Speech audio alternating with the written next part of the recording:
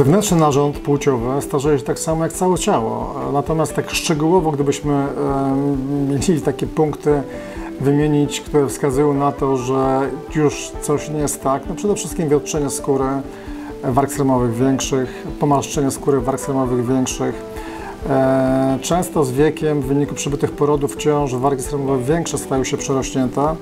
Bardzo istotnym elementem po przybyciu porodów jest e, obniżenie się krocza, które staje się niskie, czyli tak, mówiąc słowami bardziej przystępnymi, odległość między odbytem a pochwą e, się zmniejsza. Pochwa staje się szeroka, bardziej wiotka, występuje suchość pochwy.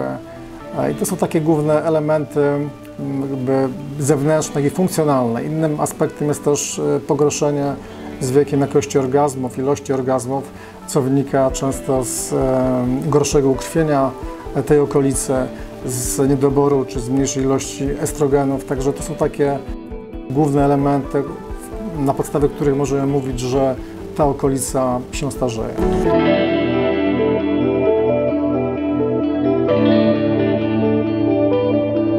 Oczywiście e, na pierwszym miejscu powinny być zabiegi nieinwazyjne, więc od nich zacznę, a więc e, lasery CO2, e, radiofrekwencja, HIFU, e, osłoncze bogotopłotkowe, fibryna bogotopłotkowa, em, zabiegi z użyciem karboksyterapii, kwas hialuronowy, który doskonale wypełnia ubytki skórne, które na, na, na etapie e, niezbyt głębokich zmarszczek działa rewelacyjnie, który do pewnego stopnia podtrzymuje krawędź wargi sremowej większej, sprawiając, że wygląda on, ona młodziej.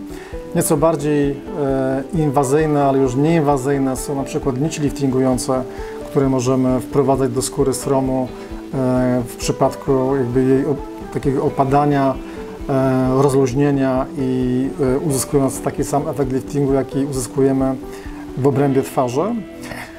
I jeżeli przychodzimy do zabiegów inwazyjnych, to tutaj na pierwszym miejscu wydaje mi się jest plastyka tylnej ściany pochwy i krocza, następnie labiomajoroplastyka, czyli plastyka warg sremowych większych i oczywiście labiominoroplastyka, która najczęściej wykonywana jest u młodszych e, pacjentek, ale czasami starsze pacjentki, które jakby widzą problem przerośniętych warg, również e, decydują się na ten zabieg.